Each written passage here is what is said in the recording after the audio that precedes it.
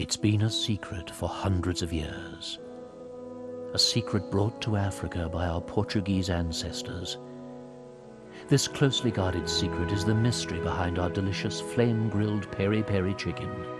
Now, at last, we're ready to show the world the secret of how Nando's chicken is made.